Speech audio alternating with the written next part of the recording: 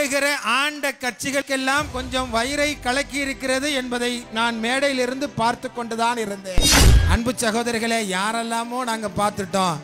ஆளுநர் ஆர்எஸ்எஸ் ரவி மோடியையுமே ஒரு கை பார்ப்பவர்கள். உங்களை பார்ப்பதற்கா எங்களுக்கு நேரம் வேண்டும்.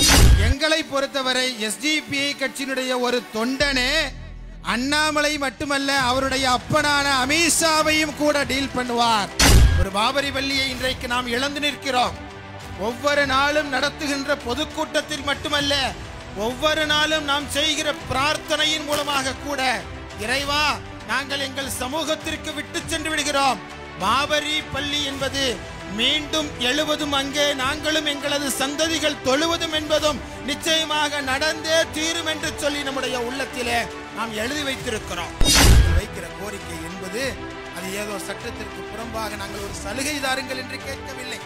பேரறிவாளனுடைய வழக்கிலே உச்சநீதிமன்றம் சொல்லி காட்டியபடி நாங்கள் விடுதலை செய்ய இந்த அரசு அமைவதற்கான அடித்தளத்தை மட்டுமல்ல மேல் கட்டுமானத்தையும் உருவாக்கியவர்கள் இந்த சிறுபான்மை முஸ்லிம்கள் என்பதை நீங்கள் மறந்து விடாதீர்கள் அன்பு சகோதரர்களே பேரணாம்பட்டு நகரத்தில் எஸ்டிபிஐ கட்சி சிறைவாசிகளுடைய அதிலும் குறிப்பாக முப்பத்தி எட்டு முஸ்லிம் ஆயுள் சிறைவாசிகளுக்கான ஒரு ஒற்றை கோரிக்கை பொதுக்கூட்டத்தை ஏற்பாடு செய்திருக்கிறது. அந்த நிகழ்வில் எஸ்டிபிஐ கட்சியினுடைய உடலாக உறுப்பாக பேரணாம்பட்டு நகரமன்றத்தினுடைய ஒன்றாவது வார்டு உறுப்பினர் அன்பு சகோதரர் அத்தீக்குர் ரஹ்மான் அவர்கள் இணையவிருக்கிறார்கள் என்கிற செய்திக்காக வேண்டி இங்கே உரையாற்றுவதற்காக நான் வருகை தந்திருக்கிறேன். உண்மையிலேயே பேரணாம்பட்டுன்னா கொஞ்சம் வச்சு ஸ்பெஷலா செய்யறவங்க என்பதை இப்பொழுது நீங்கள் காட்டியிருக்கிறீர்கள். நீங்கள் நடத்தியிருப்பது பொதுக்கூட்டம் அல்ல முச்சந்தியில் நின்று நீங்கள் ஒரு மாபெரும் மாநாட்டை நடத்தியிருக்கிறீர்கள். ஆளுகிற ஆண்ட கட்சிகளுக்கெல்லாம் கொஞ்சம் வயிறை கலக்கி இருக்கிறது என்பதை நான் மேடையிலிருந்து பார்த்து கொண்டுதான் இருந்தேன். ஆனாலும் கூட மலை தடுத்தாலும் எவர் தடுத்தாலும் எஸ்டிபிஐ என்கிற ஆலமரம் பேரணாம்பட்டிலே வளர்ந்து ஆலமரமாக மாறப்போவது என்பது உறுதி என்பதை இந்த பொதுக்கூட்டம் இங்கே நிரூபித்துக் கொண்டிருக்கிறது. அன்பு சகோதரிகளே யாரெல்லாமோ நாங்கள் பார்த்துட்டோம். ஆளுநர் ஆர்எஸ்எஸ் ரவியும் மோடியையுமே ஒரு கை பார்ப்பவர்கள். உங்களை பார்ப்பதற்கா எங்களுக்கு நேரம் வேண்டும். இந்த படை போதுமா? இன்னும் கொஞ்சம் வேண்டுமா? என்று கேட்பது போல என்னுடைய பேரணாம்பட்டினுடைய அன்பு சகோதரர்கள் இங்கே திரண்டிருக்கிற காட்சி உண்மையிலேயே கண்கொள்ளா காட்சியாக இருக்கிறது. மழையில் நனைந்தாலும் வெயில் அடித்தாலும் கூட இந்த நாட்டுடைய பாசிச சங்கபரிவாரிடமிருந்து முஸ்லீம்களை மட்டுமல்ல இந்துக்களையும் கிறிஸ்தவர்களையும் தாழ்த்தப்பட்ட சொந்தங்களையும் மீட்டெடுத்தே தீருவோம் என்று திரண்டிருக்கிற நம்முடைய எண்ணத்தை எல்லாம் வல்ல இறைவன் நூருத்தீன் ஃபாரூக்கினுடைய துவாவை போல நிறைவேற்றி தருவான் என்று நான் இந்த தருணத்தில் நான் சுட்டிக்காட்ட ஆசைப்படுகிறேன். அன்பு சொந்தங்களே எனக்கு முன்பாக பேசி காட்டிய அன்பு சகோதரர் நாகூர் மீரான் சொல்லி காட்டினார். இந்த திராவிட முன்னேற்ற கழகத்தினுடைய அரசு அண்ணாமலைக்கெல்லாம் கொஞ்சம் கூட அச்சப்படக்கூடாது. ஆட்டுக்குட்டி அண்ணாமலையை பாப்புலர் ஃப்ரண்ட் ஆஃப் இந்தியாவினுடைய ஒரு யூனிட் பிரசிடென்ட் டீல் செய்வார் என்று சொல்லி காட்டினார். எனக்கு ரொம்ப சந்தோஷம். ஆனால் எங்களை பொறுத்தவரை எஸ்டிபிஐ கட்சியினுடைய ஒரு தொண்டனே அண்ணாமலை மட்டுமல்ல அவருடைய அப்பனான அமித்ஷாவையும் கூட டீல் பண்ணுவார் என்பதை நான் அறுதியிட்டு சொல்வதற்கு நான் கடமைப்பட்டிருக்கிறேன். ஆட்டுக்குட்டி வளர்ப்பவர்கள் எல்லாம் தமிழ்நாட்டிலே வந்து நின்று எங்களை பிளவுபடுத்திவிட நினைத்தால் அன்பு சகோதரர்களே மூன்று வேளையும் மாட்டுக்கறி தின்று உரமேறி போன எங்களால் எதையும் சாதிக்க முடியும் என்பதை நான் எங்களால் என்று சொல்லுவது என்னை மட்டுமல்ல முஸ்லீம் சமூகத்தை மட்டுமல்ல இங்கே அமர்ந்திருக்கிற விடுதலை சிறுத்தைகளுடைய சமூகத்தையும் சேர்த்து தாழ்த்தப்பட்ட ஒடுக்கப்பட்ட சமூகங்கள் அத்தனை பேரையும் சேர்த்து நான் சொல்லி காட்டுகிறேன். அன்பு சொந்தங்களே என்று சொன்னால் இந்த இந்த பொ- இந்த பொதுக்கூட்டத்தை பொறுத்தவரை மிக முக்கியமானது ஒரு பொதுக்கூட்டமாக நான் கருதுகிறேன். அதே சகோதரர் நாகூர் மீரான் தான் சொல்லி காட்டினார் இந்த சமூகத்தை மட்டுமல்ல இந்த இந்தியாவை ஒற்றுமையோடு பாதுகாப்பதற்காக எங்களுடைய உயிரையும் கூட நாங்கள் தருவதற்கு நாங்கள் சகாதத்தை அடைவதற்கு தயாராக இருக்கிறோம் என்று சொல்லி காட்டினார். உண்மையிலேயே நல்ல செய்திதான். ஆனால் நாங்கள் ஏன் எங்களது உயிரை தர வேண்டும்? நாங்கள் ஏன் எங்களது உயிரை தர வேண்டும்? அவ்வளவு ஈஸியாலாம் இந்த சமூகத்தினுடைய இருபது கோடி பேரை உயிரை எடுத்து விடுவதற்கு இந்த நாட்டிலே யாருக்கும் தைரியம் இல்லை என்பதை நாம் புரிந்து கொள்ள வேண்டும். எங்களை பொறுத்தவரை நாங்கள் உருவாக்கிய நாடு எண்ணூறு ஆண்டு காலமாக கட்டி காத்த நாடு. இதனை எவர் தடுத்தாலும் மோடி அல்ல மோடியினுடைய அப்பன் வந்தாலும் கூட அவருடைய கரங்களிலே நாங்கள் ஒப்படைக்க மாட்டோம் என்று நாங்கள் சொல்லி போராடி கொண்டிருக்கிறோம். அன்பு சகோதரர்களே நாங்கள் ஒரு பொழுதும் நாங்கள் வீழ்ந்து விட மாட்டோம். இந்த சமூகத்தை இந்த நாட்டிலே வாழுகிற இந்துக்களையும் முஸ்லீம்களையும் கிறிஸ்தவர்களையும் நிம்மதியான ஒரு இந்தியாவில் வாழ வைப்பதற்காக புறப்பட்டிருக்கிற படைதான் social democratic party of India popular front of India என்பதை உணர்ந்து கொண்ட காரணத்தினால்தான் ஆர்எஸ்எஸ்னுடைய ரவிக்கு அங்கே வயிறு கலக்கி கொண்டிருக்கிறது என்பதை நாம் புரிந்து கொள்ள வேண்டும். அன்பு சொந்தங்களே அப்படியெல்லாம் லேசாலாம் எங்களை இல்லாமல் ஆக்கிவிட முடியாது. எண்ணூறு ஆண்டு உரம் போட்டவர்கள் ஒரு கை பார்த்து விடாமல் இந்த இந்த நாட்டை விட்டு இந்த உலகத்தை விட்டு நாங்கள் நகர்ந்து விட மாட்டோம் என்பதை நீங்கள் புரிந்து கொள்ள வேண்டும். அன்பு சகோதரர்களே அதோடு சேர்ந்து இது சிறைவாசிகளுக்கான கூட்டம்தான். ஆனாலும் கூட நாகூர் மீரான் இன்னொரு விஷயத்தையும் தொட்டு சென்று விட்டார். அதுதான் கியான் வபி மஸ்ஜித். உங்களுக்கெல்லாம் தெரியும். ஒரு பாபரி பள்ளியை இன்றைக்கு நாம் இழந்து நிற்கிறோம்.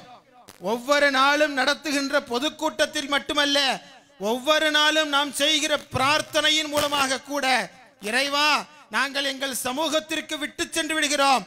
பாபரி பள்ளி என்பது மீண்டும் எழுவதும் அங்கே நாங்களும் எங்களது சந்ததிகள் தொழுவதும் என்பதும் நிச்சயமாக நடந்தே தீரும் என்று சொல்லி நம்முடைய உள்ளத்திலே நாம் எழுதி வைத்திருக்கிறோம். அந்த வாபரியை இழந்த வழியும் வடுவும் தீர்வதற்கு முன்பாக இப்பொழுது வாரணாசியிலே கியான் வபி மஸ்ஜிதை இப்பொழுது மீண்டும் இப்பொழுது பிரச்சனையாக்கி இருக்கிறார்கள். அங்கு சென்று அகழ்வாராய்ச்சி கலாராய்ச்சி நடத்துவதற்காக வேண்டி எவ்வாறு பாபரி பள்ளியை வீழ்த்தினார்களோ அதுபோல ஒரு முயற்சி இந்த நாட்டிலே நடத்தப்பட்டு கொண்டிருக்கிறது என்பதை இந்த தருணத்திலே உங்களுக்கு நான் சுட்டிக்காட்ட ஆசைப்படுகிறேன். அந்த பாபரி பள்ளிவாசல் இடிக்கிற தருணத்திலேயோ அல்லது அந்த பள்ளிக்கான இடிக்கிற அந்த தருணத்தில் மிகப்பெரிய முயற்சி எடுத்த காலகட்டத்தில் நாம் வேண்டுமானால் சிறுவராக இருந்திருக்கலாம்.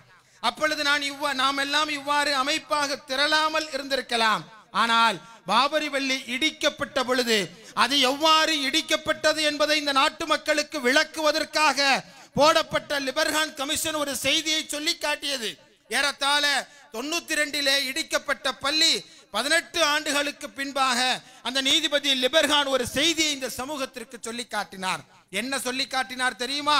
பாபரி பள்ளி இடிப்பதற்காக வேண்டி ஆர்எஸ்எஸ் சங் பரிவார் சனாதன சக்திகள் வீடு வீடாக சென்று செங்கலை சேகரித்ததை போல இந்த நாட்டு மக்களிடமிருந்து பொருட்களை சேகரித்ததை போல இந்த நாட்டு மக்களுடைய உள்ளங்களை இரண்டாக பிளவுபடுத்தி இந்து முஸ்லீம் என்கின்ற கலவரங்களை அத்வானி போன்றவர்கள் ரத யாத்திரை என்கின்ற பெயரால் ரத்த யாத்திரை நடத்தியது போல நாம் வன்முறையை கையில் எடுக்க வேண்டிய அவசியம் இல்லை. அவர் சொல்லி காட்டினார் அதற்கு எதிராக எவ்வாறு பாபரி பள்ளி தகர்க்கப்பட வேண்டும் என்பதற்காக ஒரு முயற்சி இந்த நாட்டிலே எடுக்கப்பட்டதோ அதுபோல பாபரியை காக்க வேண்டும் என்பதற்காக ஒரு முயற்சி இந்த நாட்டிலே எடுக்கப்படாததனுடைய விளைவாகத்தான் பாபரி பள்ளி வாசல் வீழ்த்தப்பட்டது என்று சுட்டிக்காட்டினார் அல்லவா? அதனை நம்முடைய உள்ளத்தில் ஏந்தி கொண்டவர்களாக இன்ஷா அல்லாஹ் எங்களுடைய காலத்தில் இனி ஒரு மஸ்ஜிதும் இந்த நாட்டிலே தகர்க்கப்படாது அப்படி ஒரு சூழல் உருவாக்கப்படாது என்று சொல்லி ஒவ்வொருவரும் இன்றைக்கு நாம் சபதம் ஏற்க வேண்டிய தருணம் என்பதை அன்பு சகோதரர்கள் உங்களுக்கு முன்பாக இப்பொழுது நான் சுட்டி காட்டுவதற்கு கடமைப்பட்டிருக்கிறேன். இந்த சிறுபான்மை சமூகத்திற்கு தாழ்த்தப்பட்ட ஒடுக்கப்பட்ட கிறிஸ்தவ தாழ்த்தப்பட்ட சொந்தங்களுக்கு ஒரு பிரச்சனை அல்ல இரண்டு பிரச்சனை அல்ல ஓராயிரம் பிரச்சனைகள் இந்த சமூகத்திற்கு எதிராக இப்பொழுது ஆர்எஸ்எஸ் என்கின்ற சங்கபரிவார சனாதன சக்திகளால் இன்றைக்கு உருவாக்கப்பட்டு கொண்டிருக்கிறது. அவை அத்தனையும் ஒரு சேர எதிர்கொண்டு என்னுடைய சந்ததிகள் இன்றைக்கு எனக்கு முன்பாக நிற்கின்ற இரண்டு ஐந்தோ பத்தோ படிக்கிற மாணவர்களை இன்றைக்கு நான் பார்க்கிறேன். எனக்கு இடதுபுறமாக இருக்கிற என்னுடைய அன்புக்குரிய சகோதரிகளை நான் பார்க்கிறேன். எனக்கு வலதுபுறமாக நிற்கிற மூத்த குடிமக்களை நான் பார்க்கிறேன். எல்லோரிடத்திலும் சேர்ந்து சொல்ல வேண்டிய செய்தி என்ன தெரியுமா? இந்த நாட்டிலே எவர் தடுத்தாலும் ஆர்எஸ்எஸ் என்கிற சனாதன சங் பரிவார சக்திகளை இல்லாமலாக்கி வீழ்த்துவது ஒன்றே நமது குறிக்கோள் என்று சொல்லி அனைவரும் சபதமேற்றுக் கொள்ள வேண்டிய தருணம் என்பதை இந்த தருணத்தில் நான் சுட்டிக்காட்டுவதற்கு நான் கடமைப்பட்டிருக்கிறேன். சில தினங்களுக்கு முன்பாக மேற்கு வங்காள மாநிலத்திலே பேசும் பொழுது அமித்ஷா சொல்லி காட்டியிருக்கிறார் இந்த நாட்டுடைய உள்துறை அமைச்சர் அமித்ஷா சொல்லி காட்டியிருக்கிறார் கொரோனாவினுடைய கெடுபிடிகள் முடிந்த பின்பாக கொரோனாவினுடைய கெடுபிடிகள் முடிந்த பின்பாக மீண்டும் ஒன்றிய அரசு சிஏஏ என்பிஆர் என்ஆர்சி நினைவிருக்கிறதா? இதே போல ஒரு ஜனவரி மாதம் இதே போல ரெண்டாயிரத்தி பத்தொன்பது ரெண்டாயிரத்தி இருபது மார்ச் மாதம் வரை இந்த நாடே குலுங்கி இருக்கிற மாபெரும் போராட்டங்களை இரண்டாம் சுதந்திர யுத்தத்தை நடத்தி காட்டிய சிறுபான்மை சமூகம் ஒருபொழுதும் சிஏஏ என்பிஆர் என்ஆர்சியை நாங்கள் ஒருபொழுதும் ஏற்றுக்கொள்ள மாட்டோம் என்று சொல்லி போராட்டம் நடத்தியோமே. அந்த சிஏஏ என்பிஆர் என்ஆர்சி இந்த நாட்டிலே அமல்படுத்தப்படும் என்று எச்சரித்திருக்கிறார். அமித்ஷாவிற்கு நாங்கள் சொல்லி காட்டியிருக்கிறோம். நான் சொல்லி காட்டுகிறேன் இந்த பொதுக்கூட்டத்தின் வாயிலாக அன்றைக்கும் நாங்கள் சொல்லி காட்டினோம். இதே இரும்பு உள்ளம் கொண்ட அமித்ஷா தான் அன்றைக்கு சொல்லி காட்டினார். இந்த அரசு ஒரு இன்ச் கூட பின்வாங்காது என்று சொல்லி காட்டினார். ஒரு இன்ச்சு கூட பின்வாங்காது என்று சொல்லி காட்டிய குஜராத்தினுடைய இரும்பு மனிதனை ஒரு கிலோமீட்டர் பின்வாங்க வைத்த மாபெரும் அறநெறி போராட்டத்தை நடத்திய சமூகத்தின் சார்பில் நாங்கள் சொல்லுகிறோம். உங்களது நீங்கள் மீண்டும் ஒருமுறை இந்த நாட்டிலே சிஐஏ என்பிஆரை என்ஆர்சியை அமல்படுத்துவதற்கு நீங்கள் துணிந்தால் உங்களை ஆட்சிக்கட்டிலிருந்து அகற்ற வேண்டிய கடமையை தலையாய கடமையாக எடுத்துக்கொண்டு நாங்கள் மீண்டும் ஒரு சுதந்திர போராட்டத்தை நாங்கள் நடத்த வேண்டி வரும் என்பதை இந்த தருணத்தில் நான் அவர்களுக்கு எச்சரிக்கையாக சொல்லிக் கொள்வதற்கு அன்பு சகோதரர்களே நான் கடமைப்பட்டிருக்கிறேன். ஒரு ஆபத்தான காலகட்டத்தில் இன்றைக்கு நாம் வாழ்ந்து கொண்டிருக்கிறோம். எதற்காக எஸ்டிபிஐ கட்சி இன்றைக்கு பேரணாம்பட்டு பகுதியிலே முஸ்லீம் சிறைவாசிகளை அனைவரையும் போல சமமாக நீங்கள் பார்த்து எவ்வாறு தோழர் பேரறிவாளன் அவர்களுடைய விடுதலைக்கு நீங்கள் முயற்சி எடுத்திருக்கிறீர்களோ எவ்வாறு ஏழு தமிழர்களை விடுதலை செய்ய வேண்டும் என்பதற்காக இந்த அரசு இந்த அளவிற்கு சிரமம் எடுத்திருக்கிறதோ பாராட்டக்கூடிய ஒன்று. அதுபோல முப்பத்தி எட்டு முஸ்லீம் சிறைவாசிகளையும் விடுதலை செய்வதற்காக வேண்டி தமிழக அரசு முயற்சி எடுக்க வேண்டும். பொது மன்னிப்பின் அடிப்படையிலே கருணை அடிப்படையிலே விடுதலை செய்ய வேண்டும் என்கின்ற கோரிக்கையை ஏன் இப்பொழுது நாம் நடத்தி கொண்டிருக்கிறோம்? எங்களுக்கிடையே நீங்கள் ஒரு பாரபட்சத்தை காட்டாதீர்கள். முப்பத்தி எட்டு முஸ்லீம் ஆயுள் சிறைவாசிகள் என்பவர்கள் சாதாரணமானவர்கள் அல்ல. ஒரு ஆண்டு அல்ல ஒரு நாள் அல்ல இரண்டு நாள் அல்ல ஓராண்டு அல்ல இரண்டாண்டு அல்ல இருபத்தி எட்டு ஆண்டுகளாக இன்றைக்கு ஸ்காரா கிருகத்திலே சிறைக்கூடத்திலே அடைக்கப்பட்டிருக்கிறார்கள் என்று சொன்னால் நினைத்து பாருங்கள். அவர்களது மனைவியினுடைய நிலை எவ்வாறு இருக்கும்? அவருடைய குழந்தையினுடைய நிலை எவ்வாறு இருக்கும்? அவர் வீட்டில் வளர்கிற குழந்தைகளுடைய மனநிலை எந்த அளவிற்கு பாதிக்கப்பட்டிருக்கும் என்பதை அன்பு சகோதரிகளை நாம் சிந்திக்க வேண்டாமா? சாதாரண சூழல் இல்லை. ஆசிக் அவர்களுக்கு நாற்பத்தி ஐந்து வயதை கடக்கிறது. இதுவரை அவர் திருமணம் செய்து கொள்ளவில்லை. காரணம் இளைஞராக சிறைக்குள் சென்றார். முதியராக சிறைக்குள் இருக்கிறார். எப்பொழுது அவர் வருவார் என்று தெரியாத நிலையிலே காலத்தை எண்ணிக்கொண்டிருக்கின்ற காலகட்டத்திலே அவருடைய அருமைக்கும் பெருமைக்கும் உரிய அவரை உட மடியிலே போட்டு தாளாட்டி பாலூட்டி சீராட்டி வளர்த்த தன்னுடைய தாயாருடைய இறப்பிற்கு எப்படிப்பட்ட சூழலில் வந்தார் தெரியுமா? திராவிட முன்னேற்ற கழக அரசு பொறுப்பேற்ற பின்பாக மரியாதைக்குரிய தமிழகத்துடைய முதல்வர் மிகச்சிறப்பாக இந்த ஆட்சியை நடத்த வேண்டும் என்று நினைக்கிற தமிழக முதல்வர் நிச்சயமாக ஏழு தமிழர்களோடு சேர்ந்து முப்பத்தி எட்டு ஆயுள் சிறை கைதிகளையும் விடுதலை செய்து விடுவார் சிறைவாசிகளையும் விடுதலை செய்து விடுவார் என்று இந்த சமூகம் நம்பியது இந்த நாடும் நம்பியது. நம்மை போலவே அந்த அப்பாவி தாயாரும் நம்பி இருக்கிறார் செப்டம்பர் மாதம் பதினைந்தாம் தேதி வந்து விடுவார் என்று நினைத்தார். செப்டம்பர் மாதம் பதினைந்தாம் தேதி அவருடைய தாயார் வரவில்லை. அவர் மாரடைப்பினால் இறந்து போகிறார். என்னுடைய மகன் என்னிடத்திலே இனி வரவே மாட்டான் என்று நினைக்க துக்கம் தொண்டையை அடைத்திருக்கிறது இறைவன் அவரை அழைத்துக் கொண்டான். அந்த நிகழ்விலே நான் கலந்து கொண்டேன். அதுவே ஒரு மிகப்பெரிய ஒரு சோகமான நிகழ்வு என்று சொன்னால் அதை முடித்து விட்டு வெளியே வந்தால் அந்த தாயாருக்கு சலாம் சொல்லி பிரார்த்தனை செய்துவிட்டு வெளியே வந்தால் வாசலிலே நிற்கிறார்கள் அவருடைய உறவினர்கள். அந்த வீட்டில் அந்த குடும்பத்தில் ஒருவர் மட்டும் சிறையில் இல்லை. நாலு பேர் சிறையில் இருக்கிறார்கள். ஒரு ஆண்டாக அல்ல இரண்டாண்டாக அல்ல இருபதற்கும் அதிகமான ஆண்டுகளாக சிறையில் இருக்கிறார்கள். செய்யாத குற்றத்திற்காக நிரூபிக்கப்படாத குற்றத்திற்காக இன்றைக்கு சிறையிலே அடைக்கப்பட்டிருக்கிறார்கள். அவருடைய அவருடைய தங்கை சொல்லி காட்டுகிறார் ஒன்று நீங்கள் எங்களை வெளியில் விடுங்கள். எங்களை வெளியில் விடுவதற்காக நீங்கள் போராட்டங்களை நடத்தி என்னுடைய சகோதரன் ஆசிக்கை நீங்கள் வெளியே கொண்டு வாருங்கள். இல்லை என்று சொன்னால் எங்களை நீங்கள் கருணை கொலை செய்வதற்கு நீங்கள் அனுமதி பெற்று தாருங்கள் என்று சொல்லுகிறார். என்று சொன்னால் எவ்வளவு மோசமான துன்பங்களையும் துயரங்களையும் அந்த சகோதரி தன்னுடைய உள்ளத்தில் தாங்கி இருப்பார் என்று நினைத்து பார்க்க முடிகிறது அன்பு சகோதரர்களே. அதனால்தான் அவர்களுடைய வழியில் பங்கெடுப்பா பங்கெடுப்பதற்காக அல்ல. இப்படி ஒரு பொதுக்கூட்டத்தை நடத்தினால் வரவிருக்கிற சட்டமன்ற தேர்தலிலே எங்களுக்கு மக்கள் வாக்களிப்பார்கள் ஓட்டளிப்பார்கள் என்று அல்ல. வாக்களித்தாலும் வாக்களிக்காவிட்டாலும் என்னுடைய சமூகம் இன்றைக்கு சிறையில் அடைக்கப்பட்டிருக்கிறது என்ற தாளாத வேதனையோடு அரசிற்கு வலுவாக குரல் எழுப்புவதற்காக நடத்தப்படுகிற திராவிட முன்னேற்ற கழக அரசு பொறுப்பேற்ற பின்பு நடத்தப்படுகிற ஐந்தாவது ஆர்ப்பாட்டத்திற்கு பின்பாக ஐந்தாவது பொதுக்கூட்டத்தை இன்றைக்கு நாம் நடத்தி கொண்டிருக்கிறோம். சில சகோதரர்கள் கூட சொல்லி காட்டினார்கள் தமிழகத்தினுடைய தென் தமிழகத்திலும் சென்னையிலும் தான் இந்த பிரச்சனை பற்றி மக்களுக்கு தெரியும். ஆனால் வேலூர் பெல்ட்ல யாருக்குமே தெரியாது என்று சொல்லி காட்டினார்கள். ஆனால் நான் புரிந்து கொள்கிறேன். உங்களது கண்களையும் உங்களது முகத்தையும் பார்க்கும் பொழுது நான் புரிந்து கொள்கிறேன். நீங்கள் அனுபவிக்கிற வேதனைகளை நீங்கள் உங்களது கண்களால் இப்பொழுது நீங்கள் அனுபவிப்பதிலிருந்து நான் புரிந்து கொள்கிறேன் நீங்கள் உண்மையிலேயே உளப்பூர்வமாக இந்த சமூகத்திற்காக நீங்கள் பிரார்த்தனை செய்கிறீர்கள். ஏதாவது ஒன்றை நாம் செய்தாக வேண்டும் என்று நீங்கள் நினைக்கிறீர்கள் என்பதாக உங்களது கண்களை பார்க்கும் பொழுது நான் தெரிந்து கொள்கிறேன் அன்பு சகோதரர்களே. மிக மோசமான மிக ஆபத்தான சூழலில் இந்த முப்பத்தி எட்டு பேரும் சிறையில் அடைக்கப்பட்டிருக்கிறார்கள். முப்பத்தி எட்டு பேர் மட்டும்தான் சிறையில் அடைக்கப்பட்டார்களா? இல்ல. ஐம்பத்தி நாலு பேர் சிறையில் அடைக்கப்பட்டார்கள். சிலர் மட்டுமே நீதிமன்றத்தாலும் இன்ன பிற காரணங்களாலும் விடுதலை செய்யப்பட்டார்கள். ஆனால் நான்குக்கும் அதிகமானோர் அவர்களை அவர்களை சிறையிலிருந்து வெளியே கொண்டு வந்தது எது தெரியுமா? மரணம்தான் அவர்களை சிறையிலிருந்து வெளியே கொண்டது கொண்டு வந்தது என்பதை அன்பு சகோதரரை நாம் புரிந்து கொள்ள வேண்டும். ஒருவர் தன்னுடைய குழந்தை பிறந்த தருணத்திலே சிறைக்கு சென்றிருக்கிறார். இப்பொழுது குழந்தை வளர்ந்து அது திருமணமாகி அது குழந்தை பெற்றிருக்கிறது. அப்பொழுதும் கூட அவரால் வர இயலாத அளவிற்கு வெளியில் வர இயலாத அளவிற்கு ஏதோ அந்த குழந்தையை பார்ப்பதற்கு ஒரு விருந்தினரை போல மிக மோசமான பரோல் வழங்கப்படாமல் பரோல் வழங்கப்படாமல் வழிக்காவல் இல்லாமல் வழிக்காவல் இல்லாமல் எங்களுக்கு பரோல் வழங்கப்பட வேண்டும் என்று சொல்லுகிற அந்த கோரிக்கை கூட நிராகரிக்கப்பட்டு இரண்டாம் தர மூன்றாம் தர குடிமக்களாக இன்றைக்கு சிறைகளிலே அடைக்கப்பட்டிருக்கிற அவர்களுடைய குடும்பத்தின் சார்பாக எஸ்டிபிஐ கட்சியின் சார்பாக பேரணாம்பட்டில் நடக்கிற இந்த பொதுக்கூட்டத்தின் சார்பாக தமிழக முதல்வரை நாங்கள் வேண்டி விரும்பி கேட்டுக்கொள்வது நீங்கள் உண்மையிலேயே இது ஒரு திராவிட மாடல் ஆட்சி என்று சொன்னால். உண்மையிலேயே இது சமூக நீதி அரசு என்று சொன்னால் உண்மையிலேயே நரிக்குறவர்களுடைய உணர்வுகளை கூட புரிந்து கொள்கின்றீர்கள் என்பதை நாங்கள் புரிந்து கொள்கிறோம். ஆனால் ஏன் எங்களது உணர்வுகளை மட்டும் நீங்கள் புரிந்து கொள்ளவில்லை என்று கேட்டு இது சமூக நீதி அரசு திராவிட மாடல் அரசு என்று சொன்னால் முதல் முதலில் இந்த அரசு செய்ய வேண்டியது அண்ணாமலை அல்ல அமித்ஷா அல்ல மோடி அல்ல ஐவி அல்ல ரா அல்ல. எவர் தடுத்தாலும் முப்பத்தி எட்டு ஆயுள் சிறை கைதிகளை நான் விடுதலை செய்வேன் என்று சொல்லுவதில் தான் சமூக நீதி அரசுடைய முதல் தகுதி இருக்கிறது என்பதாக நான் புரிந்து கொள்கிறேன். அவ்விடத்திலே நான் கோரிக்கை வைக்கிறேன்.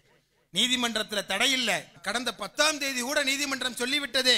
அமைச்சரவை ஒரு தீர்மானம் எடுத்து விட்டால் அதற்கு பின்பாக பேசுவதற்கு ஆளுநருக்கு அதுபோல ஜனாதிபதிக்கு உரிமை இல்லை என்று சொல்லிவிட்டது. உச்ச நீதிமன்றம் தெளிவாக சொல்லிவிட்டது. இந்த சமூகம் வலுவாக கோரிக்கை வைக்கிறது. ஒட்டுமொத்த தமிழகமும் இவர்களுடைய விடுதலைக்காக ஏங்கிக் கொண்டிருக்கும் பொழுது மரியாதைக்குரிய தமிழகத்துடைய முதல்வர் ஸ்டாலின் அவர்கள் கிஞ்சிற்றும் கூட தாமதிக்காதவாறு. ஒரு நிமிஷம் அவர்கள் சிறையில் இருந்தாலும் கூட அது சட்டவிரோதமான சிறை என்பதாக நாங்கள் சுட்டிக்காட்டுகிறோம். அரசியலமைப்பு சட்டத்தினுடைய நூத்தி அறுபத்தி ஒன்று பிரிவின்படி உடனடியாக தமிழக முதல்வர் அவர்கள் அவர்கள் அத்தனை பேரையும் உடனடியாக விடுதலை செய்ய வேண்டும் என்கின்ற கோரிக்கையை நாங்கள் நாங்கள் தொடர்ந்து நாங்கள் வைப்பதற்கு கடமைப்பட்டிருக்கிறோம். இந்த பொதுக்கூட்டத்தின் வாயிலாக இந்த கோரிக்கையை நாங்கள் வைக்கிறோம். நாங்கள் வைக்கிற கோரிக்கை என்பது அது ஏதோ சட்டத்திற்கு புறம்பாக நாங்கள் ஒரு சலுகை தாருங்கள் என்று கேட்கவில்லை. பேரறிவாளனுடைய வழக்கிலே உச்சநீதிமன்றம் சொல்லி காட்டியபடி நாங்கள் விடுதலை செய்ய சொல்கிறோம் இப்பொழுது நாங்கள் உங்களிடத்திலே வைக்கிற கோரிக்கை நீங்கள் ஆதிநாதன் குழுவை நீங்கள் அமைத்திருக்கிறீர்கள். ஆதிநாதன் குழுவை நீங்கள் அமைத்த அந்த தருணத்திலேயே நாங்கள் சொல்லி காட்டினோம். எப்பொழுது ஒரு கமிஷன் போட்டால் அரசாங்கத்தில் கமிஷன் கொடுத்தா வேகமாக வேலை நடக்கும். கமிஷன் போட்டால் நடக்கவே நடக்காது. லிபர்கான் கமிஷனை போட்டு பதினெட்டு வருஷம் ஆச்சு. கமிஷன் கொடுத்தா டேபிளுக்கு இல்லை கமிஷன் கொடுத்தா வேகமாக வேலை நடக்கும். அது மாதிரி வேகமாக வேலை நடக்க வேண்டிய தருணத்திலே கமிஷன் போட்டால் என்ன ஆகுமோ என்று நாங்கள் பதறினோம். இப்பொழுது கூட செய்திகள் வருகிறது. ஆதிநாதன் நீதியரசர் ஆதிநாதன் அவர்களுக்கு உடல்நிலை சரியில்லை என்பதாக வருகிறது. அவருக்கு உடல்நிலை குணமாகட்டும். ஆனால் நாங்கள் எப்பொழுது வெளியே வருவது? எங்களுடைய சகோதர சகோதரிகள் என்றைக்கு அவர்கள் நீதியை சுதந்திரத்தை விடுதலை காற்றை என்றைக்கு அவர்கள் சுவாசிப்பது? எனவே உடனடியாக தமிழகத்துடைய முதல்வர் செய்ய வேண்டிய காரியம் எவ்வாறு ஏழு தமிழர்களுடைய விடுதலைக்காக வேண்டி நீங்கள் அமைச்சரவையினுடைய தீர்மானத்தை நிறைவேற்றினீர்களோ அதுபோல முப்பத்தி எட்டு முஸ்லீம் ஆயுள் சிறை கைதிகளை பத்து ஆண்டுகள் கழித்த அத்தனை சிறை கைதிகளையும் உடனடியாக விடுதலை செய்ய வேண்டும் என்கின்ற அமைச்சரவை தீர்மானத்தை உடனடியாக நீங்கள் நிறைவேற்றுங்கள். ஒரு ஆண்டு ஆச்சு ஒரு ஆண்டு ஆகிவிட்டது ஸ்டாலின் அவர்கள் ஒரு ஆண்டு கொண்டாட்டத்தின் பொழுது சொல்லி காட்டினார்.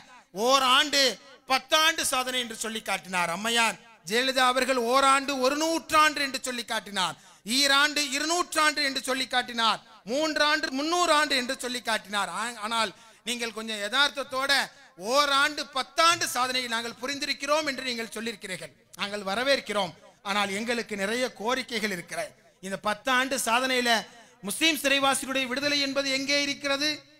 மூணு புள்ளி ஐந்து சதவீத இடஒதுக்கீடுக்கு நீங்கள் வெள்ளை அறிக்கை தர வேண்டும். அத்தோடு சேர்ந்து ஐந்து சதவீதமாக உயர்த்தி தர வேண்டும் என்று நாங்கள் கோரிக்கை வைத்தோமே. அதற்கான எங்க அது எங்கே அந்த ஓராண்டு சாதனையில் இருக்கிறது? இந்த முஸ்லீம் சமூகத்திற்காக வேண்டி எத்தனையோ கல்வி வேலை வாய்ப்பு கோரிக்கைகளை நாங்கள் வைத்திருக்கிறோமே. கொள்கை அளவில் சமூக நீதி அரசு அதை ஏற்றிருக்கிறதே. ஆனால் அதற்கான விடியல் எங்களுக்கு எப்பொழுது வரும்? எல்லோருக்குமான அரசு என்று சொல்லிவிட்டீர்கள். ஆனால் இந்த சிறுபான்மை சமூகத்திற்குமான அரசு என்பதை சொல்லுவதோடு மட்டும் நீங்கள் நிறுத்தி கொள்ளாதீர்கள். நூருத்தீன் ஃபாரூக்கி அவர்கள் சொல்லி காட்டியதை போல இந்த அரசு அமைவதற்கான அடித்தளத்தை மட்டுமல்ல மேல் கட்டுமானத்தையும் உருவாக்கியவர்கள் இந்த சிறுபான்மை முஸ்லிம்கள் என்பதை நீங்கள் மறந்து விடாதீர்கள். இந்த அரசு அமைய வேண்டும் என்பதற்காக அறுபத்தி ஒன்பது சதவீத வாக்குகளை இட்டவர்கள் நாங்கள். அறுபத்தொன்பது சதவீதம் ஒன்று அல்ல இரண்டு அல்ல இருக்கிற எல்லா கட்சிகளையும் புறக்கணித்து விட்டு இந்த அரசு அமைய வேண்டும் என்று சொல்லி காட்டிய அதற்காக வாக்களித்த எங்களுக்கு நீங்கள் சொல்லுகின்ற மறுபடி என்ன? நீங்கள் அதற்காக நீங்கள் தருகிற பதில் என்ன? என்று கேட்டுத்தான் இந்த பொதுக்கூட்டத்தை நாங்கள் நடத்தி கொண்டிருக்கிறோம். எங்களுக்கு வேலை வாய்ப்பு கேட்க வேண்டும் என்ற ஆசை இருக்கிறது. பள்ளி கல்விகளிலே வேலை வாய்ப்பு கேட்க வேண்டும் என்கின்ற ஆசை இருக்கிறது. என்னுடைய மகனும் இந்த நாட்டினுடைய ஐஐடி ஐஏஎம்ல படிக்க வேண்டும் என்கின்ற ஆசை இருக்கிறது. எத்தனை நாட்களுக்குத்தான் நாங்கள் கறிக்கடையும் எத்தனை நாட்களுக்குத்தான் நாங்கள் குப்பையையும் நாங்கள் கூட்டிக் கொண்டிருப்பது எத்தனை நாட்களுக்குத்தான் நாங்கள் கண்காணாத எங்களது பிள்ளைகளை மனைவி குட்டிகளை எல்லோரையும் விட்டுவிட்டு நாங்கள் காணா காராகிருகத்திலே அடைபட்டது போல பாலைவனத்திற்கு சென்று நாங்கள் ஒட்டகம் மேய்த்துக் கொண்டிருக்கிறது என்ற கேள்வியை எல்லாம் நாங்கள் கேட்டுக்கொண்டிருக்கிறோம் அப்படி ஒட்டகம் மேய்த்தாலும் கூட தமிழகத்திலே மாறுகிற சிறுபான்மை முஸ்லீம் சமூகம் தமிழகத்திற்கும் இந்தியாவிற்கும் தருகிற அந்நிய செலாவணி எவ்வளவு தெரியுமா? ஒரு கோடி அல்ல இரண்டு கோடி அல்ல. ஒரு ஆண்டிற்கு அறுபதனாயிரம் கோடி ரூபாய் அந்நிய செலாவணியை தருகிற சமூகம் இந்த தமிழ்நாட்டிலே வாழுகிற சிறுபான்மை முஸ்லீம் சமூகம். எல்லாவற்றையும் செய்துவிட்டு எங்களுக்கு நீங்கள் தந்த வாக்குறுதியின் அடிப்படையிலே இடஒதுக்கீடை தாருங்கள் என்று கேட்கிற அந்த கோரிக்கைக்கு கூட இன்றைக்கு நாங்கள் பின்னுக்கு தள்ளிவிட்டு ஒற்றை கோரிக்கை பொதுக்கூட்டம் என்று ஏன் நாங்கள் அறிவித்திருக்கிறோம் என்று சொன்னால் நீங்கள் முப்பத்தி எட்டு ஆயுள் சிறை கைதிகளையும் நீங்கள் தயவு செய்து விடுதலை செய்யுங்கள். அவர்களது குடும்பத்திற்கு நீங்கள் சுதந்திரத்தை அனுபவிப்பதற்கான வாய்ப்பினை தாருங்கள். ஒரே ஒரு விஷயம் மட்டும் உண்மை. தமிழகத்துடைய முதல்வர் இப்பொழுது அவர்களை விடுதலை செய்யாவிட்டால் எப்பொழுதும் அவர்களை விடுதலை செய்வதற்கான வாய்ப்பு கண்ணு கட்டிய தூரம் வரை இல்லை. அப்படி ஒரு விடுதலை வரும் என்று சொன்னால் மரணம்தான் அவர்களை விடுவிக்கும் என்கின்ற ஆபத்தான காலகட்டத்திலே இந்த கோரிக்கை இன்றைக்கு நாம் வைத்துக் கொண்டிருக்கிறோம். எனவே தமிழக முதல்வர் இறங்கி வர வேண்டும். இந்த சிறுபான்மை சமூக மக்களுடைய நீங்கள் சொல்லி காட்டினீர்கள் ஜெய் பீமனுடைய படத்தை பார்த்த பின்பு இரவெல்லாம் தூங்கவில்லை என்று சொன்னீர்கள். நான் அன்றைக்கு நடந்த மதுரை பொதுக்கூட்டத்திலே சொல்லி காட்டினேன். நீங்கள் எங்களது ஊருக்கு வாருங்கள். என்னுடைய ஊர் மேலப்பாளையம் எங்களது ஊருக்கு வாருங்கள். சிறைக்கு சிறை ஆயுள் சிறைவாசியுடைய வீடுகளுக்கு வாருங்கள். ஓராயிரம் ஜெய்பீம் கதைகள் எங்களது வீடுகளுக்குள்ளே இருக்கிறது. அத்தனை கண்ணீரோடு சோகத்தோடு குற்றப்பரம்பரையோடு நாங்கள் இன்றைக்கு வாழ்ந்து கொண்டிருக்கிறோமே. அதை துடைப்பதற்கான ஒரு வாய்ப்பாக நீங்கள் அவர்களை வெளியே விடுங்கள் என்று சொல்லுவதற்காகத்தான் இந்த பொதுக்கூட்டத்தை அன்பு சகோதரர்களை நாங்கள் நடத்தி கொண்டிருக்கிறோம். அது மட்டுமல்ல நிறைய செய்தி இருக்குது. பாஜக ஆர்எஸ்எஸ் சங்க பரிவார்கள் செய்கிற அநியாயம் பக்கத்தில் இருக்கிற திருப்பத்தூர். எனக்கு முன்பாக பேசி காட்டிய சகோதரர் சொல்லி காட்டினார். அமர் குஷ்வாகா என்று சொல்லுகிற இந்த மாவட்டத்துடைய ஆட்சியர். அமர் குஷ்வாகா யார் தெரியுமா? யாருமல்ல யோகியினுடைய சொந்த ஊரிலிருந்து வந்தவர். யோகியினுடைய கோரக்பூர் என்று சொல்லுகிற அந்த மடாதிபதியாக இருந்த யோகியினுடைய ஊரிலிருந்து வந்தவர் அமர் குஷ்வாகா. சத்தமில்லாம எப்படி தமிழ்நாட்டுக்குள்ள வந்து பீஃப் வேண்டாம் என்று சொல்லி பீஃபை தனிமைப்படுத்தவில்லை. அதை உண்ணுகிறவர்களை கொச்சைப்படுத்துகிற உரிமையை உனக்கு யார் தந்தது? உங்களுக்கு யார் தந்தது? தமிழக அரசு என்ன செய்திருக்க வேண்டும்? ஆகா வட இந்தியாவில் இருக்கிற பீஃப் அரசியல்ல தமிழ்நாட்டிற்கு கொண்டு வருகிறார் என்று சொன்னால் கேட்கவே கேட்காமல் அவர் மீது நடவடிக்கை எடுத்து அவரை டிஸ்மிஸ் செய்திருக்க வேண்டுமா வேண்டாமா? இதுவரைக்கும் செய்யல. செய்வார்கள் என்று நாம் எதிர்பார்க்கிறோம். கொஞ்சம் எஸ்டிபிஐ விசிகா பிஎஃப்ஐ போன்ற அமைப்புகள்லாம் கொஞ்சம் அமைதியா இருந்துட்டா என்ன இருக்கும் பீஃப் இல்லாத ஒரு திருவிழா நடந்திருக்கும்.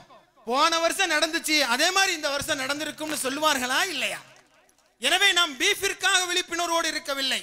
பீஃப் தின்னணுமா வேண்டாமா என்பது வேறு விஷயம். ஆனால் நீ யார் அதனை முடிவு செய்வது?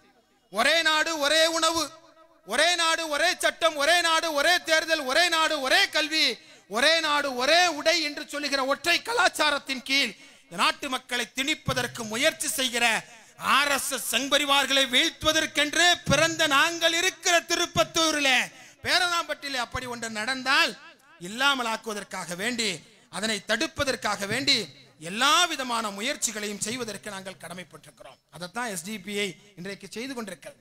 பேரணாமட்டில் எஸ்டிபி என்று செய்து கொண்டிருக்கின்ற பணிகளை உங்களுக்கு நான் சொல்லி தெரிய வேண்டிய அவசியம் இல்லை எனக்கு தெரிந்த இரண்டு மூன்று ஆண்டுகளாக இங்கு இருக்கிற பேர்ணாம்பட்டு பேருந்து நிலையம் வேறு இடத்திற்கு மாறிவிடக் கூடாது என்பதற்காக போராட்டத்தை நடத்தி இன்றைக்கு வரை அதை தடை செய்து வைத்திருக்கிறது என்று சொன்னால் அது அதற்கான காரணங்களில் ஒன்று எஸ்டிபி கட்சியுடைய போராட்டம் என்பதை நான் சொல்லித் தெரிய வேண்டிய அவசியம் இல்லை இங்கே இருக்கிற அண்ணன் ஆசா உமர் ஃபாருக் அவர்கள் தான் அந்த போ- அந்த போராட்டத்திற்கு வந்து கலந்து கொண்டார் என்று நான் நினைக்கிறேன்.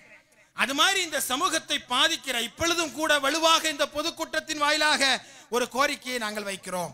கள்ளச்சாராயம் இந்த பகுதியில் ரொம்ப வேகமா போயிட்டு இருக்கு கஞ்சாவும் கள்ளச்சாராயமும் இல்லாத ஒரு தமிழகம் படைக்கப்பட வேண்டும் என்று தமிழகத்துடைய முதல்வர் அவர்களும் காவல்துறையினுடைய டிஜிபி அவர்களும் நினைக்கிறார். ஆனால் இப்ப இங்க இந்த பகுதியில கள்ளச்சாராயம் போய்க்கொண்டிருக்கிறது கஞ்சா போய்கொண்டிருக்கின்றது என்று சொல்கிறார்கள். காவல்துறையினுடைய ஆதரவோடு நடைபெற்றாலும் இல்லாவிட்டாலும் தமிழகத்துடைய முதல்வர் இது விஷயத்துல கவனம் செலுத்தி கஞ்சா இல்லாத கள்ளச்சாராயம் இல்லாத ஒரு பேரணாம்பட்டு பூமியை உருவாக்குவதற்கான நடவடிக்கைகளை வெகு தீவிரமாக எடுக்க வேண்டும். அதற்கு எஸ்டிபி கட்சி எப்பொழுதும் உழைப்பதற்கு ஒத்துழைப்பதற்கு தயாராக இருக்கிறது என்பதை இந்த தருணத்தில் நான் சொல்லி காட்டுகிறேன். அது மட்டுமல்ல நிறைய ஆன்லைன் லாட்ரி சிட்டா லாட்ரி காட்டன் சூதாட்டம் அப்படிங்கிற பேர்ல நிறைய மோசமான விஷயங்கள் இந்த பகுதியில சமூக தீமை.